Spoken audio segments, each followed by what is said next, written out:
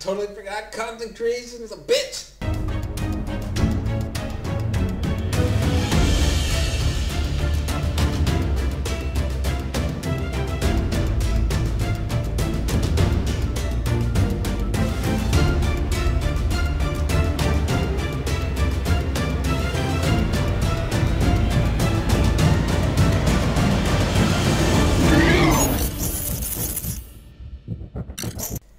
Yo, what is up, Crocs and Clown members, Pokemon fans? We're here to talk about episode 63 of Pokemon Horizons, and I apologize for my outburst at the beginning. But listen, okay, trying to get things in order is a struggle, especially when you haven't done this for months. Okay, I'm just I'm just stating that right now for you all, just leaving it there. But this episode, okay, I what I thought was gonna happen didn't exactly happen.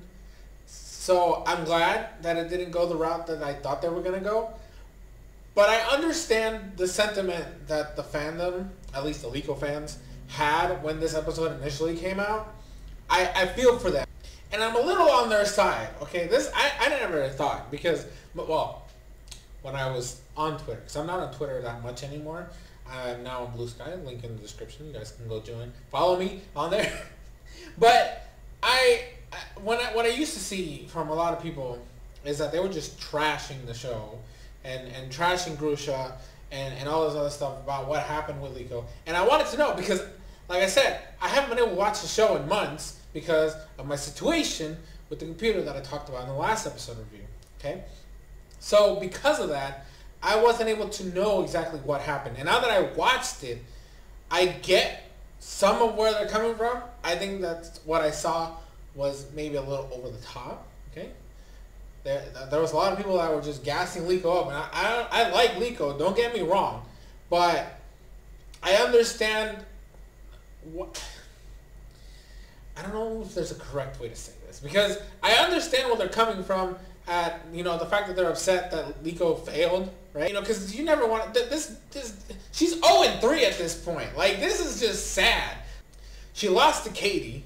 She lost to Rika, and now she loses to Grusha. Like, she has not had a victory in all of this. Like, this is unfair to her. Because at least, okay, if you if if we go back to, you know, all the other characters, okay? Dot lost to Iono, which was understandable considering she's a fucking electric type gym leader, and, you know, Dot was using Quaxly back then. It wasn't gonna happen. I still stand by the fact that I don't think that she should have officially won against Poppy because Iono's the one that actually was doing the work. But I'll give it up. And then at least has that victory for her, right? And then she loses to Larry, right? So she has two losses and a victory. And then you got my boy Roy over here, who beat Brassius, uh, and then he lost to uh, I, for, I always forget how to say his name. Dragon Elite Four gym leader, Elite Four, whatever the fuck. Like I always forget. It's like Hamel or Hazel, so, something like that. I know I'm supposed to know because he's technically a teacher in the game for you, but I, it's not in my purview right now. Okay, it's been a while since I've done anything with these people, right? So forgive me for not remembering this boy's name, but um, he did lose against them, and then he he wins against Ryme. So he's technically two and one, right?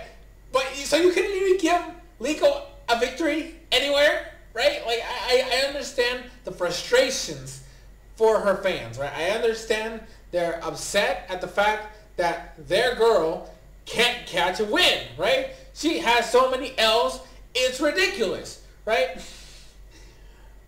But at the same time, I understand Grusha's sentiment. I still think he's wrong, okay? Because let me be clear here, okay?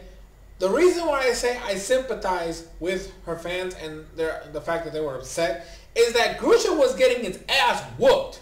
Okay, as like Hatenna, I knew for a fact she wasn't gonna do shit. Okay, Hatenna sucks ass. I, I, I can't say that because I love that line. Okay, I love that Pokemon line. But Liko's Hatenna hasn't battled for shit. Okay, she has not done anything. So I didn't expect her to be able to accomplish anything. It's the same thing that happened with Tinkaton and Dot. And it's the same thing that happened with Roy and Kilowattrel. Their secondary Pokemon are fucking ass. Okay? I'm sorry that I'm getting riled up, but you guys need to know this. Okay, so I didn't expect anything from her secondary Pokemon. I for sure was like, this is gonna be the Floragato show, and I was perfectly content with it, even though I really like Hatenna and I like the Hatterene line and all those. Like, I, they're, they're, they're my one of my some of my favorite Pokemons from Generation Eight. I get that. Okay, you guys should know this, but I knew this was gonna be the Floragato show, and I had no problems with it going in.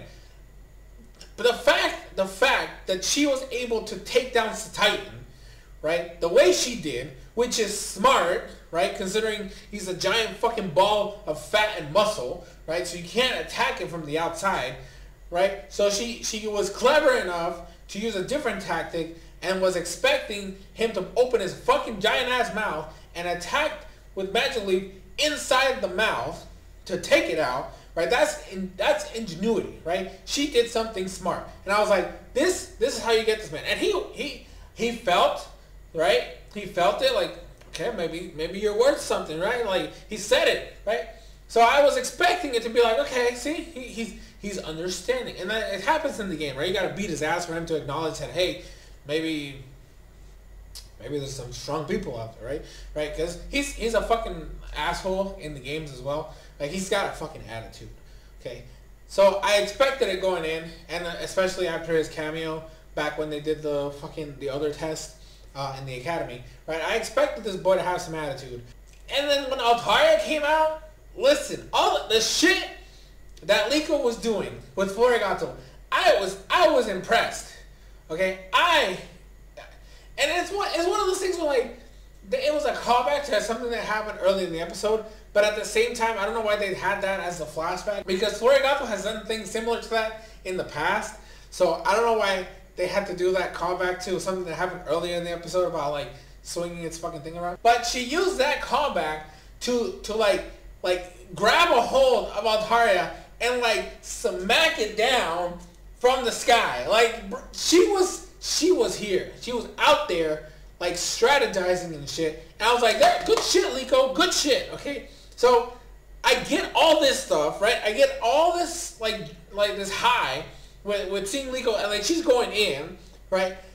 And then like they, they do the fucking the typical class that they do in fucking animes where like oh like I'm gonna trash slice and then like which Liko did at the perfect time by the way like she nailed the timing for that shit and then Grusha's like, oh, well, you're to try slice? Well, I'm to show you that fucking, like, you know, being in the, the frosty mountains and all the snow and shit, snowstorms are unpredictable and they can turn things around whenever you expect it. And then he terastallizes. Like, his felt more like like a Hail Mary type of terastallization. So, like, he if, if he was taking the test, I would have failed his ass, right? Because this didn't feel like an earned terastallization by going by their logic right? Going by the, the, the logic of the fucking test, his was a desperation move because at this point, Liko has the advantage. So in order to like keep up with her, he has to even the score by terastallizing at the exact same time. And then, like I said, they do the whole fucking anime thing where they shoot two fucking beams of light at each other. You know, Floragato with Magical Leaf and Altaria with Ice Beam. And then, like, oh, he gets a fucking power boost. Even though Floragato at this point should be at least an overgrow, right? and then, like, you know, Floragato gets fucking frozen to death, right? All that happens, and the whole time I'm thinking, I know that she fails, because of you know the spoilers that I saw. But in the back of my head, I'm like, how the fuck, after everything she did, and considering the the way they've handled this test in the past, why she fails. And then it go it calls back to what happens earlier on in the episode when they're talking about fucking Grusha's backstory and uh, how he used to be this like ultra cool rad like snowboarder dude right? And then like because he crashed and burned one time, um, and he's like, oh well, even though I'm perfectly healthy and I'm able to do everything I used to do, I'm gonna beat myself up because I'm not gonna be as good as I used to be. I'm like, this is a fucking pity party for this fucker. Okay, listen, Grusha, you're not meant to like Grusha. I, at least from my understanding, because he's just a dick, right? So until you beat his ass and then he starts to chill out, fine. But like, there's they set him up to be a dick in the show, right? So you're not supposed to like him. But I think his his mentality here fucking makes no sense, right? The whole point of the terastal course is to show that a trainer is able to acknowledge and learn and know the exact timings of when terastallization is to be done, right? The correct timing for when they're supposed to use it and, and, and terastallize their Pokemon to whatever they need to accomplish. Which is exactly what Ryme was trying to teach Roy in the last, like, you know, implementation test. The, the first battle they had, right, where she whooped his ass, right? Like, he's like, your timing's off, right? You're not doing this right. Like, there's no synchronization. Like, he's, she, she tore into Roy's ass, okay? And you mean to tell me the one character that, like, like I said, Dot was like an iffy situation. Like, like she kind of earned it when she did, but Liko was running that battle at that point in the game. So I'm sorry. She's the out of the three, right? Out of the three of them, and not counting Roy's second battle because that one's like a completely different scenario because the way they, they handle that like different than the other ones, right? That that rematch doesn't count. I'm not counting the rematch here, but if you look at the three battles that we had, Liko actually deserves the pass. Out of the three, she she handled it and she timed it perfectly. She just took down her opponent, right? And, and like had him pinned. Altaria had been pinned at that point.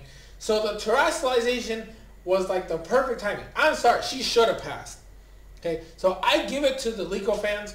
She should have passed this test. There's no, even if she lost, I didn't mind that she lost. I, I, again, I think it's fucked up that out of the three kids, she has all these L's. Okay, she's lost all three times. She hasn't had a single W, right? But if anybody loses a battle and deserve to pass, it's definitely Liko. Out of the three, even though she's like she's she's not my favorite character, right? Like even nowadays, I still put her at third. It's like Roy, Dot, and Liko. Right? That's that's my rankings. I still stand by the fact that she should have passed this test. I I Grusha is a fuck boy. Okay, fuck that man. I understand where he comes from because of his backstory, but if if the whole point of the terastal course is to teach the students the appropriate time to terastallize, she passed with flying colors. Okay, I don't give a fuck if you think she should have won because that's not the point of the course. It's not the point of the implementation test. You fucking douchebag. I have ranted long enough. Okay, the episode. I like I said, I liked the episode. It was fun. I love the stuff with the Citadel at the beginning, which I didn't talk too much about because the whole point of this review was to talk about specifically what happened in the gym battle, right? and, and like I said, I liked everything about it. I just do not understand. And and out of all of the characters, Liko's the one that deserved the pass the most. I still stand by that, and I, I'm with those Liko fans from back in. And, and the fact that she's done, right? The concept that if you fail, you're done, which they brought up, you know, when Ryme, you know, lost to, to, to Roy in the last episode. It's like, you don't, if you fail, you're done. Like, this is a special exception that I'm giving you. So she's basically not going to be able to succeed unless they bring this up again in the future where she has to retake the course from the beginning. Like what I'm thinking is because of the fact that they didn't use uh, Kofu and Tulip for for our three main characters, that they could somehow tie them back in somehow so that Liko gets like a redemption shit. But at some point, there needs to be a rematch between Grusha and Liko because there's no way this man can get away with this. Okay? This, like, bro, bro. I'm sorry. I'm, I'm I keep rambling on. I keep ranting. Okay. I, I feel for the Liko fans. Um, fuck Grusha. Okay. I'm with you on that. I get where he's coming from, but the, he he he, bro.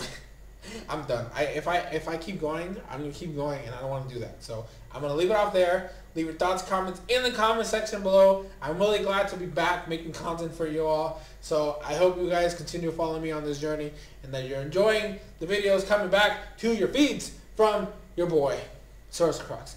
So I will see you guys in future videos, streams, shorts, and everything in between.